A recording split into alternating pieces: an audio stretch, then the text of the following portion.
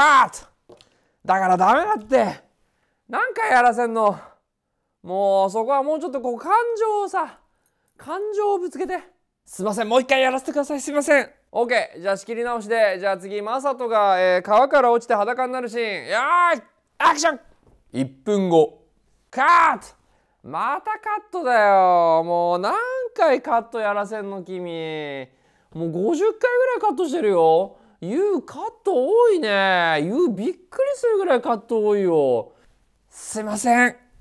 You びっくりするぐらいカット多いよ。You びっくりするぐらいカット多いよ。You びっくりするくらいカット。UV カットエアリズムパーカーについて今日は解説していきます。はいというわけでですね今日はユニクロのエアリズム UV カットフルジップパーカーですね。えこちら2990円のアイテムをレビューしていこうと思います、えー、最近ですねユニクロのランキングとかを見ても、えー、このエアリズム UV カットパーカーかなり上位に食い込んでくることが非常に多いです。まあ季節柄ねこれすごく便利なアイテムだと思うんですけど値上げもしてるし実は素材もちょっとアップデートされているので今までと少し違ってる部分も多いんですね。でこれ実際どういうアイテムで普段のパーカーと何が違っていて何がおすすめで何がダメなのか、えー、この辺をじっくり語っていこうと思います。ので是非最後までご覧になってみてください。私毎週日曜日自分のオリジナルブランド MB アイテム新作を必ず発売しております、えー、概要欄の方に MB アイテムストアの URL リンク URL リンク貼ってありますので ぜひチェックしてみてください。見てもらえるだけで嬉しいです。ありがとうございます。お願いします。それでは本編いきましょう。まずポイント1つ目。春夏秋と幅広いシーズンで使えるユニクロ名作パーカーがアップデートというとこですね。えー、エアリズム素材で、まあ、着心地が良くて、えー、通気性もあって UV カット機能付きというのがこのパーカーの最大いいとこだと思うんですけど、まあ、スウェットってちょっと蒸れやすいじゃないですか。でもこれエアリズム素材なんで軽くて通気性がいいからパーカーなんだけど、まあ、快適に着れて蒸れにくくて、まあ夏、夏うーんまあ、夏の肌寒い時でも使えるって感じかな。春とか春の暖かい時期とかでもまあ普通に考えて5月とか6月とかスウェットのパーカーって暑すぎるじゃないですか。でもなんか羽織は欲しいじゃない？でシャツだとちょっと足りなかったりする時もあるわけでまあそういう時にシャツとかライトウェイトのアウターと同じような感覚で使えるようなパーカー。で蒸れないと。でまあ短パンと合わせられるっていうのが多分このパーカーのいいとこだったんじゃないかなと思うんですよね。まあ口述するけどちょっと生地が変わったのでちょっと短パンと合わせるのもしかしたら今回難しいかもしれないんですけど前までのエアリズムのこの素材はかなり通気性良くて軽くて着心地良かったから、まあ、真夏に別に袖まくって短パンで合わせるなんかイタリアとかのリゾートスタイル。ああいう着こなしができてたと思うし実実際ユニクロの公式のそのページでもパーカーに合わせたスタイリングって出てるんですね。だからまああの売りとしてはそういう感じだと思うんですけど、えー、まず素材についてちょっと見ていきましょう。1000円高くなった上素材が改善ではなく解約と思う人もいる。かも。というとこなんですけどもこれね色によって実はこのアイテム、えーと、素材が違うん根率が違うんですけど大体が、えー、綿が60%入っていてエアリズムのポリエステルが40%入ってる。まあ64の比率で大体作られてるのがこのエアリズムパーカーの素材感なんですがまあ色によって微妙に違うんですけどね。あのエアリズムとコットンの混紡まあよく最近よくユニクロやりますけど表側がコットン生地になっていて裏側がエアリズム糸が出るようになってるっていうのがパーカーでもこれやられてますね。あのユニクロ U の T シャツとかでもその仕様をやってますけど要するにそのエアリズムの糸と天然繊維のコットンの糸を使ってるんだけどそれをこう出し方糸の出し方を工夫して表側にはコットンの糸が出て裏側にはエアリズムの糸が出るっていうその2枚生地を重ねてるんじゃなくて糸と糸の組み合わせで組織をこう表側は天然繊維に見えるからエアリズムのあのテロテロ感がなくて、まあ、自然なそのスウェットパーカーにちゃんと見えますよと。あの化学繊維のちょっと嫌な感じはありません。安っぽい感じはありませんよ。よと。でも裏側はエアリズムなんでテロテロしてて肌当たりが良くて通気性が良くてエアリズムの機能性がちゃんとありますっていうのが大きな特徴なんですけど、えー、実はこの以前にもこのアイテムもちろんあったんですけれども今年のモデルはアップデートされていて肉厚になってよりスウェットっぽい生地になったのが大きな特徴だと思います。この手のユニクロの薄手のパーカーってかなり薄いことが多くてで去年一昨年のこのエアリズムのパーカーもかなりこうペラペラな素材感。まあそれが良かったって人も多いと思うんだけどペラペラな素材感だったんだけど今今年は結構肉感が出ました。な本当になんか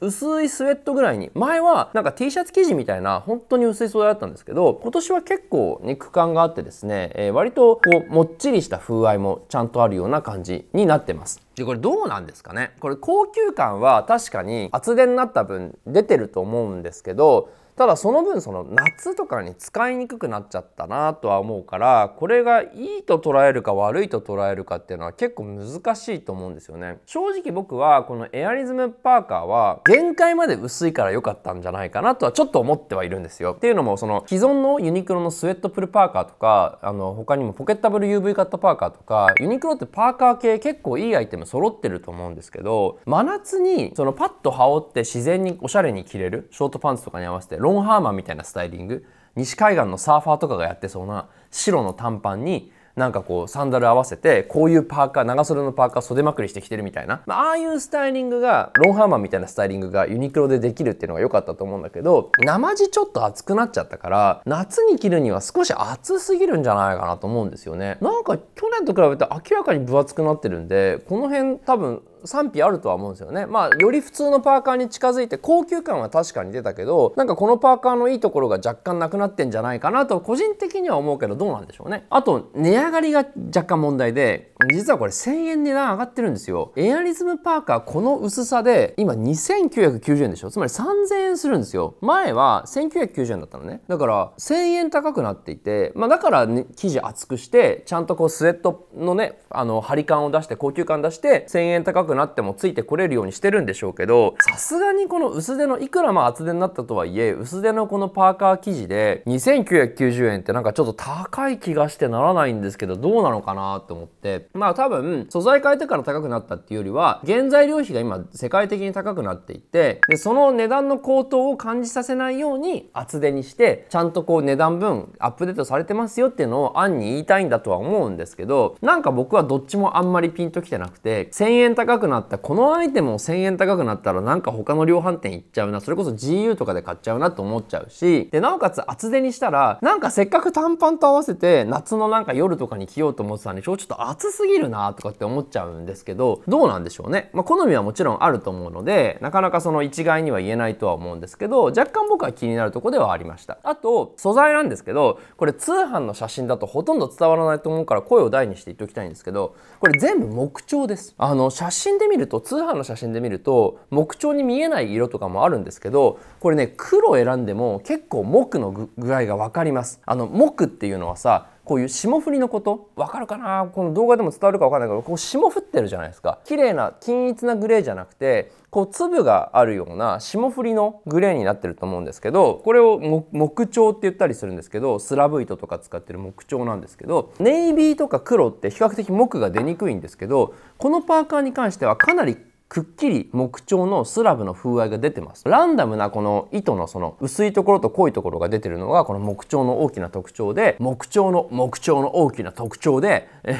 なんですけどまあいいという人もいれば悪いという人もいると思うんだけど木彫にすることでよりカジュアルになるわけね。で天然繊維っぽさが増すわけですよ。だからエアリズムのその化学繊維っぽさは木彫になることで消えてるっていうは言えるんだけどなんかでもあのプレーンなこういう真っ黒とかっていうのを望んで買ったらいざ届いてみたら木彫でなんかちょっとイメージと違うっていう人は意外といるんじゃないかなと思うのでこれはマジで好みなんだけどただ通販の写真と比べると実物の風合いが結構違ってくるので全色木彫これはねちゃんとあの買う前に知っといた方がいいかなというふうに思います。デザインについて次行きましょう。パーツが少なくチープな印象。デザインには期待できない。でちょっと辛口なコメントなんですけれどもデザインはまあ普通のパーカーではあるんですね。普通のパーカーではあるんですけどちょっとパーツ類が頼りないなとは思いました。まあ値段も値段なんでしょうがないといえばしょうがないんですけれども例えばこの紐の部分。紐の部分もなんか紐が安っぽい紐になっちゃっててで先端のこのチップ部分もですね大してその凝ったものではなくてなんか本当に安っぽいテープで巻いたようなデザインになってるんですよ。チップちゃんとつけてほしいなとは思いました。とあとここハトメ部分。紐を通す部分にハトメが存在してないんですよ。普通こういう紐通す部分ってこう金属製の丸いハトメがついてることがすごく多いんですけどハトメがなくてですねただ穴が開いてそこをステッチでこう補強して紐を通してるんでなんか本当に簡素な印象があります。まあジップ類があんまり高そうに見えない簡易なジップだなってのはまあ別にいつものユニクロだからそんなそれはそんなに気にならないんだけどなんかチップとかこういうハトメの部分とかが特に存在しない。まあ生地がね少し薄いから多分あんまり金属つけると重さでフードの形が変わっちゃうってのもあると思うんだけどなんか安っぽく感じてしまうなというには思っちゃいますね。まああとフードもね立体感がもう少し欲しいかなというふうには思います。例えば生地3面とかで作ったりするとこう立体にできたりするんですけどこれ3面とかではなくて普通にそのね1枚の布に切り替えを入れて作ってるんですけどなんかもうちょっとこう膨らむように作ってくれてもよかったのかなというふうには思います。でポケットのデザインはですねカンガルーポケットではなくて、えーと、両サイドのこのシームに合わせてスリットポケットがついてあります。まあこういうカンガルーみたいなこういう真ん中にこう別布でついてるポケットがパーカー普通なんですけどこれに関してはススリットなんでちょっとミニマムな印象になってますね。まあベーシックなデザインといえばそうなんだけどなんかもうちょっとそのパーツ凝って欲しかったかなと思いますね。このパーカーだったら例えばダブルジップにするのもありだなと思うし紐がなんかちょっとねやっぱりちょっと安っぽいのとハトメがないのとフードがあんまりボリューム感がないのとっていうとこで普通のパーカーではあるんですけれどもこういう細かいところを凝ってあげるともうちょっと高見えするのになというふうには思いました。ちょっとチープな印象ですかね。続いてシルエットについていきましょう。